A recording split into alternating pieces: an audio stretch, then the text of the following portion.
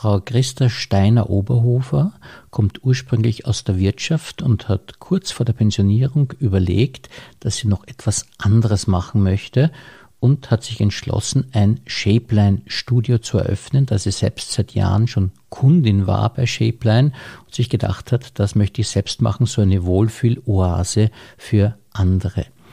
Und so hat sie die Ausbildung gemacht diplomierten Burnout-Prophylaxe-Trainerin zur Energetikerin, hat die Fachprüfung in Kosmetik gemacht, Leserschutzbeauftragte ist sie und somit hat sie alle Auflagen erfüllt, um ihren Traum zu verwirklichen. Also ein sehr interessanter Gast für unseren Bezirkspodcast.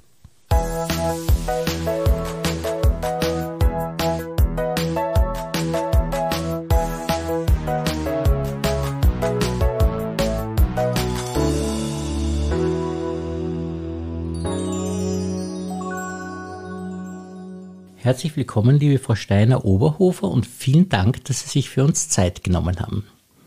Dankeschön, sehr gern und ich bedanke mich für die Einladung zum Podcast. Ja, und das ist ja wirklich eine sehr interessante Geschichte, die Sie zu erzählen haben, weil Sie dieses Shapeline-Studio, das Sie als Wohlfühloase völlig zu Recht bezeichnen, deshalb gegründet haben, weil Sie selbst so eine begeisterte Kundin waren bei Shapeline. Ja, das ist korrekt. Und zwar im Studio im dritten Bezirk war ich einige Jahre äh, Stammkundin, also wirklich zweimal in der Woche und habe das sehr genossen und die Qualität geschätzt und die Betreuung geschätzt. Das ist ja keine Kleinigkeit, sowas zu beginnen, vor allem weil Sie ja unglaublich viele Ausbildungen dafür gemacht haben und da sieht man erst, wie breit Shapeline eigentlich aufgestellt ist.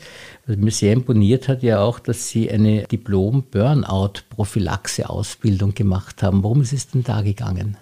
Ja, das war also sehr, sehr interessant, war sehr, sehr spannend, weil es natürlich auch einige Parallelen zur Psychologie insgesamt gehabt hat und äh, gerade für Schäblein besonders interessant, weil ja dieses ganzheitliche Mentaltraining das äh, genau damit den Nagel auf den Kopf trifft. Das heißt, ich habe dort wirklich eine Stunde Achtsamkeitstraining mit körperlicher Betätigung. Und da trifft diese Burnout-Geschichte oder knapp vom Burnout oder eben sehr gestresst zu sein, da spürt das alles rein. Ja? Und darüber etwas mehr zu wissen, äh, wie erkenne ich es, was kann ich tun, wie kann ich das unterstützen, damit sich die Kundin wohlfühlt und langsam vielleicht aus dieser Stresssituation, dieser extremen Stresssituation wieder rauskommt. Ich muss dazu sagen, wenn jemand wirklich im Burnout ist, dann muss er zum Arzt nicht mehr zu Schäpplein. Also das ist keine Frage. Das ist ja der wichtige Punkt, dass man sich hier vom Gesundheitsbereich genau abgrenzt ja, natürlich. natürlich. Und darum ist ja auch diese Idee der Prophylaxe, nicht? Dass genau, man sagt, man äh, trifft es vorher und dann kann genau. man es vielleicht auch noch viel besser abfangen. Und dann haben Sie auch noch eine Ausbildung zur Energetikerin gemacht in der damaligen Zeit, also 2011. Ja, das war natürlich auch interessant, mit Energetik zu arbeiten. Jetzt, also ich, arbeite jetzt nicht wirklich als Energetikerin, das nicht, aber es ist interessant trotzdem zu wissen, vor allem auch äh, zum Beispiel beim Eincremen, bei den Körperwickeln. Also es berührt auch etwas die Kosmetik, um zu wissen, welche Gerüche stimulieren wie, welche Öle stimulieren den Menschen wie oder welche Berührungen in welche Richtung, welche Meridiane wie wo fließen. Also von daher war es eine Bereicherung. Mhm. Daran sieht man auch, wie äh, ganzheitlich Shapeline ja funktioniert, weil sie noch zusätzlich ja. gemacht haben, die, und das wissen auch, glaube ich, wenige, dass Shapeline ja ein Kosmetikkonzern ja. auch ist und Sie haben auch eine Kosmetikerin-Ausbildung ja, gemacht. Natürlich, ja, natürlich. Also reduziert auf Körperbehandlung, also auch natürlich äh, den Gewerbeschein dafür, die Prüfung gemacht. Das ist kein Thema. Also eben Kosmetik für Körperbehandlungen plus der Laserbehandlung. Also auch da war dann eine eigene Ausbildung. Es war also Laserschutzbeauftragte, äh, musste man sein, um das anwenden zu dürfen.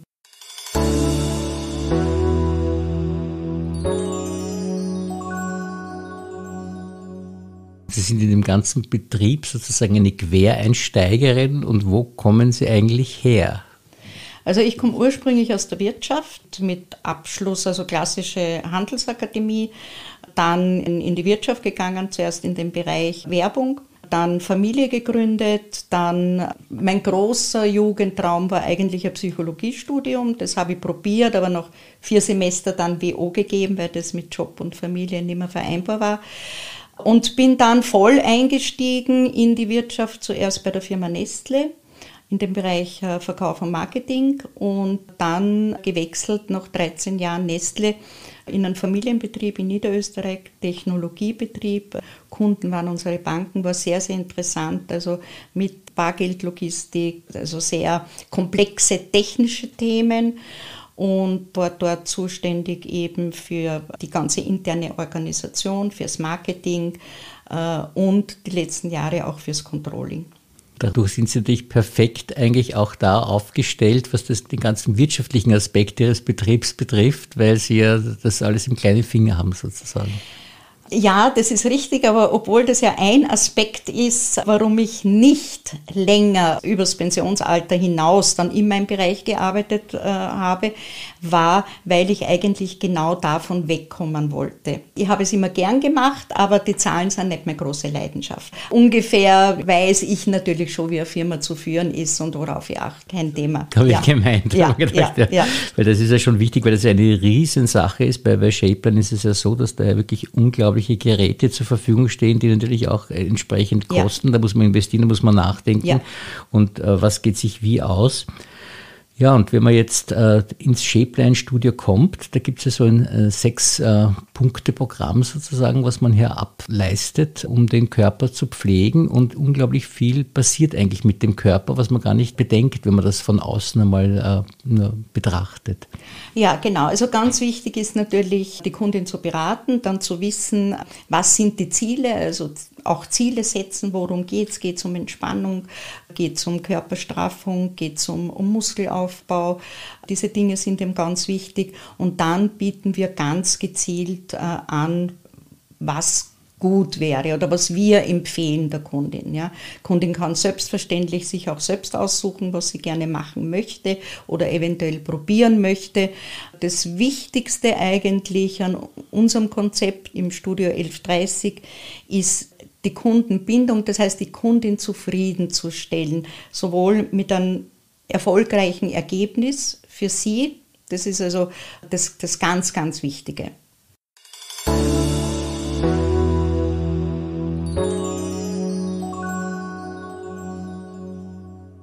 Das ist so, dass man äh, hier Dinge macht, also zum Beispiel die Wickel, die sehr wichtig sind für die Entgiftung. Und das ist ja ein Problem, das heutzutage auch sehr verbreitet ist. Ja, das sind also diese Detox-Geschichten. Ich möchte schon hinzusagen, dass jetzt rein medizinisch ja keine äh, Schlackenabfälle im Körper äh, nachweisbar sind oder gibt, weil das also System das ja bereinigt und wenn das einmal wäre, dann wäre eigentlich Alarm ja, für den Körper. Äh, das wissen wir natürlich auch. Aber was wir tun können, ist der Lymphe, dem ganzen Lymphsystem, diesen Abtransport zu erleichtern. Äh, zu forcieren, zu erleichtern, die Lymphe zum Fließen zu bringen. Daran muss man es aufhängen das, und mhm. damit eben auch eine gewisse Entgiftung des Körpers äh, stattfindet. Mhm. Was auch fantastisch und sehr verlockend ist, dass ja es so ist, dass die Muskeln angespannt und entspannt werden, aber ohne dass man sich dabei anstrengen muss im herkömmlichen Sinn, sondern das macht die Maschine sozusagen. Ja, also das große Feature bei diesen Betten ist natürlich, äh, dass ich als Kundin selber bestimme, wie intensiv ich mitmache. Es wird auch sehr oft unterschätzt. Das heißt, ich kann es nur geschehen lassen und trotzdem passiert ein Muskelaufbau im Körper. Ich kann intensiv mitmachen. Es sind ja sowohl äh, Anspannungs- und Entspannung, also isometrische Übungen, wie auch Widerstandsübungen.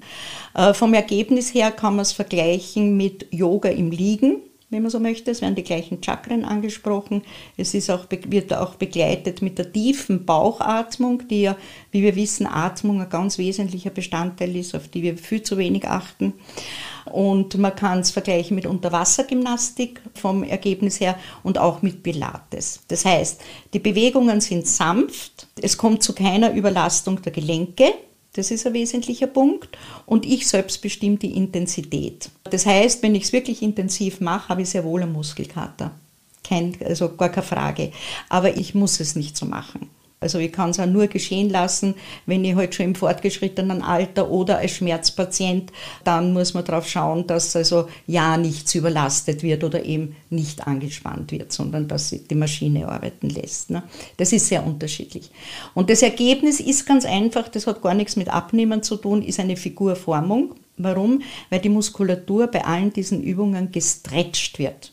Also es sind jetzt nicht äh, Kraftübungen in dem Sinne, sondern es, äh, da geht es wirklich um diesen Widerstand und um diese in die Länge ziehen des Muskels. Daher kommt es zu einer Formung. Ursprünglich stammen diese Geräte ja aus der Physiotherapie und wurden vor circa 30 Jahren von der Schäblein-Gründerin äh, von Amerika nach Österreich transportiert und weiterentwickelt. Ja. Und es ist auch so, dass äh, der Stoffwechsel auch angeregt wird und dadurch ja. dann doch auch ein bisschen Abnehmeffekt auch eintritt damit Ja, Zeit, weil sie ja? je nachdem, mhm. je nach Intensität, also in der Stunde circa zwischen 300 und 400 Kalorien verbrauchen. Und der Stoffwechsel schon alleine, wenn Sie die tiefe Atmung äh, also wirklich gut ausführen, das alleine treibt ja den Stoffwechsel. Also äh, vermehrte Sauerstoffzufuhr äh, treibt den Stoffwechsel in die Höhe. Das wird also viel unterschätzt. Jetzt ist logischerweise so, das obliegt natürlich jeder Kundin, wenn ich jetzt nicht diese 300 Kalorien mehr dazu esse, dann werde ich natürlich auch etwas abnehmen an Gewicht. Da gibt es aber jetzt rein vom Turnen her dann irgendwo eine Grenze. Also es gibt kein Gewicht abnehmen über zwei, drei Kilo hinaus, ohne dass ich nicht auch an der Ernährung drehe. Das muss man also wirklich sagen. Also entweder Ernährung umstelle, das ist ja das, was wir den Kundinnen immer ganz offen sagen. Körperformung, jederzeit zwei, drei Kilo, überhaupt kein Problem. Das können wir also alles forcieren mit unseren Behandlungen. Aber wenn es um mehr Gewicht geht, dann geht es nur, indem ich die, meine Ernährung hinterfrage und eventuell da oder dort verändere. Nicht Diät jetzt halten, aber verändere. Verstehe. Und es ist so, dass Sie auch einen sehr intensiven persönlichen Kontakt eigentlich äh, mit Ihren äh, Kundinnen haben und auch sehr vertrauensvoll mit ihnen Gespräche führen, nehme ich einmal an. Ja, das ist richtig. Wir verdanken unseren Stammkundinnen wirklich sehr, sehr viel die ganzen Jahre. Wir haben vor zwei Jahren haben wir also trotz Pandemie haben wir so kleine Torten gebacken für die Kundinnen, die dann schon 20 Jahre ins Studio kommen. Also da kann man wirklich nur tausendmal Danke sagen, dass das überhaupt gibt und dass uns diese Treue halten. Und was natürlich auch mitspielt, ist, dass wir nur, also seit vielen, vielen Jahren in einer Crew arbeiten. Das heißt, die Kunden kennen uns seit vielen, vielen Jahren, so wie wir sind. Also wir haben keine Personalfluktuation. Das ist in dem Bereich, der ja trotzdem auch sehr intim ist, Kundin zieht sich aus, ein ganz wesentlicher Bestandteil, dass die wirklich, die weiß genau, wenn sie einen Termin macht, wer da ist und sie behandelt.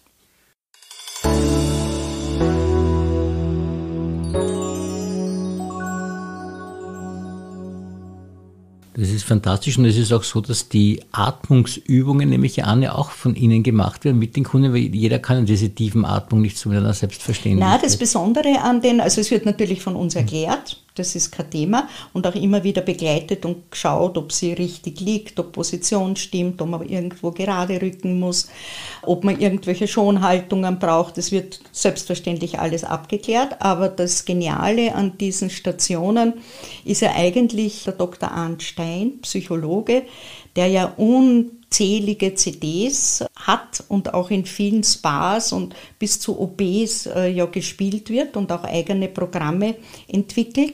Und der hat es patentiert, der hat unsere Stationen besprochen, also die Schäblein-Stationen, gibt die Anleitung, hat die Musik selbst äh, dazu komponiert, also es ist äh, Herzrhythmus und hat diese sogenannten binauralen Beats in den Bässen verarbeitet.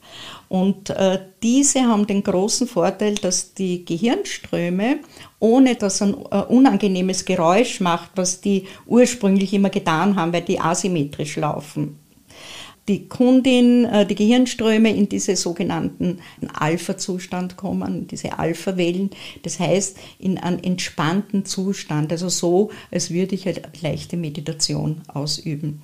Er holt sie bei der ersten Station ab und führt sie dann wirklich in einen sehr, sehr guten Entspannungszustand. Rein nur über die Gehirnströme. Mhm. Und diese geistige Entspannung ist auch sehr gut für den Körper natürlich, weil hier werden ja sogar Haltungsschäden erleichtert zumindest und Verspannungen auch erleichtert wiederum und das ja. alles durch Shapeline. Ja, genau.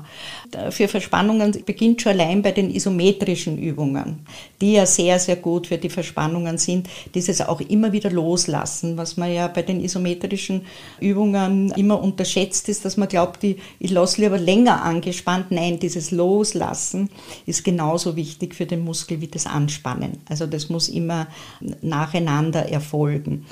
Und natürlich, so wie bei allen spielt sich halt ganz einfach sehr, sehr viel natürlich mental und in unserem Gehirn ab. Und Verspannungen kommen fast immer eben durch Anspannung, kommt halt dann auch eine Verspannung, dann durch das viele PC-Arbeiten, das äh, vermehrte Sitzen, jetzt ganz besonders durch, auch durchs vermehrte Homeoffice, ne, wo wir uns noch weniger bewegt haben wie vorher.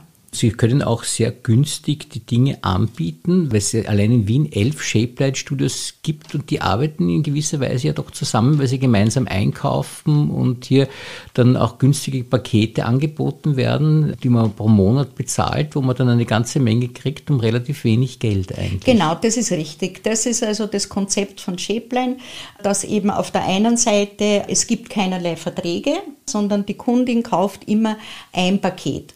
Das kann nur die Gymnastik sein, das können auch nur Körperbehandlungen sein. Und dazu gibt es eben eine sogenannte monatliche Aktion die immer kombiniert ist mit dem Training, Körperbehandlung plus Training, wo die Kundin halt dann nicht aussuchen kann, ich möchte aber die Körperbehandlung oder die Körperbehandlung, aber jede Körperbehandlung tut im Endeffekt auch sehr gut und damit sehr gut einsteigen kann oder Kundinnen, die ganz einfach auch immer das Monatsprogramm automatisch nehmen, weil sie wissen, okay, habe ich jeden Monat immer ein bisschen was anderes und in der Summe aber doch den ganzen Körper behandelt. Und das ist richtig, wir sind im Verbund, also wir sind ja insgesamt 25 Studios in ganz Österreich, eins in Deutschland und in der Schweiz gibt es auch eines und äh, soll auch noch ausgeweitet werden. Und wir kaufen gemeinsam ein. Also wir haben, wir sind sogenannte Depotpartner. Wir haben also äh, mit unserer Zentrale einen Vertrag, wo wir vereinbart haben, also dass wir ausschließlich natürlich von dort abnehmen, die Produkte, und eine gewisse Summe im Monat abnehmen, die aber realistisch zu bewerkstelligen ist. Also da gibt es eigentlich keinerlei Probleme. Und durch diesen gemeinsamen Einkauf, das heißt, die Zentrale kauft im Großen ein, das äh, ist alles österreichischer Herkunft, in dem Fall also äh, aus Wien, die Kosmetik, und verkauft dann an die einzelnen Studios weiter. Dazu verpflichten wir uns. Wir machen gemeinsame Werbung, wir haben eine gemeinsame Homepage und wir haben eine gemeinsame Software und eine gemeinsame EDV-Betreuungsfirma. Und das heißt, dadurch, dass wir uns das dann teilen, durch 2025 minimiert das absolut die Kosten, das ja alleine gar nicht möglich wäre.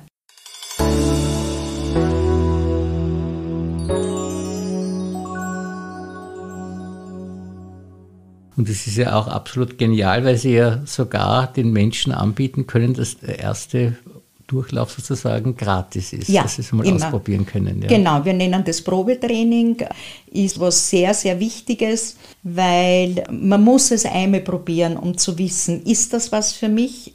Also es ist ja nicht so, dass jetzt äh, jeder sagt, okay, das ist mein absolutes Lieblingskonzept oder Lieblingstraining.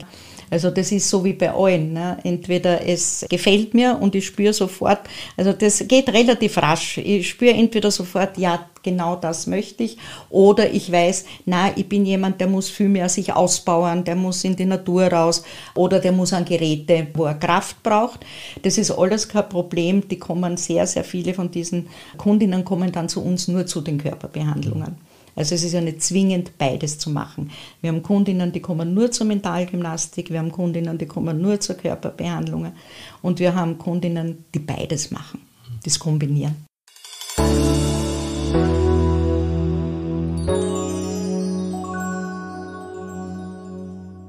Ich muss auch abschließend noch sagen, dass Sie selbst die beste Werbung sind für Ihr Studio, weil Sie ja wirklich blendet ausschauen und niemand annehmen würde, Danke. dass Sie schon im Pensionsalter sind. Das ist ja unfassbar. Ja, um Sie es noch persönlich besser kennenzulernen, ein paar Fragen aus unserem Fragebogen. Was ist denn Ihre Lieblingsmusik? Meine Lieblingsmusik ist an und für sich was Bluesiges, was Jazziges, was Funkiges, so in ja. diese Richtung, ja. Und gibt es einen bevorzugten Film oder ein Genre, das Sie gern haben aus den Filmen? Ja, ich sehe sehr, sehr gern diese nordischen Kriminalfilme, mhm. ja. Und ein bevorzugtes Buch oder kommen Sie gar nicht zum Lesen bei der vielen Arbeit? Ja, also ich habe ein Lieblingsbuch, eines der wenigen, das ich schon mehrmals gelesen habe und das ist Die Blendung von Elias Canetti. Und äh, dann eine äh, Lieblingsspeise? Oh, eine Lieblingsspeise. wenn ich so spontan jetzt sagen darf, ich esse natürlich relativ vieles gern, aber wenn man es so aussuchen könnte, wären es Krautflecken. Mhm. Ja. Also eigentlich was extrem Gesundes, nicht? Kann man sagen. Nicht fleischlos und Kraut. Ja, also ich esse, ich bin eine Allesesserin, mhm. ich esse gemischt, ja. aber relativ wenig Fleisch, ja. Genau. Ein bevorzugtes Lokal haben Sie da? Na, das habe ich nicht wirklich. Also ich esse, äh, gehe sehr gerne italienisch essen habe sehr gerne auch asiatisch und mag auch die äh, Wiener Hausmannskost. Also, also von daher. Breit aufgestellt. Es, ja, ja. Sehr ehrlich. Trotzdem schauen sie blendend aus. Nicht? Also kann man wirklich sagen, man kann Danke. alles essen und kann ja. trotzdem. Ein äh, bevorzugter Urlaubsort? Spanien. Mhm. Und wenn Sie den Satz ergänzen, ich bin, was würden Sie das ergänzen? Ich bin neugierig und wann immer es geht, optimistisch. Das ist auch der Grund, dass Sie als Quereinsteigerin das ja. sich getraut haben, nicht? Ja. Also, das schaue ich mir mal an. Okay. Äh, haben Sie ein Lebensmotto? Ja, Lebensmotto habe ich schon. Das ist eigentlich dieses, das, was ich tue, möchte ich gern tun. Also so nach dem Motto, liebe, was du tust. Also nur dann bist gut. Das, also, das hat sie eigentlich durch mein ganzes Leben durchgezogen. Haben Sie bei der Arbeit dann auch verwirklicht, weil Sie dann umgesattelt genau, sind? Genau, ja? genau. Und zwar auch in diesen beiden wirklich sehr unterschiedlichen Bereichen. Mhm. Also, ja. ja. Das können Sie für viele Leute ein Vorbild sein. Vielen, vielen Dank für dieses wirklich sehr interessante Gespräch. Ich sage Dankeschön. Danke.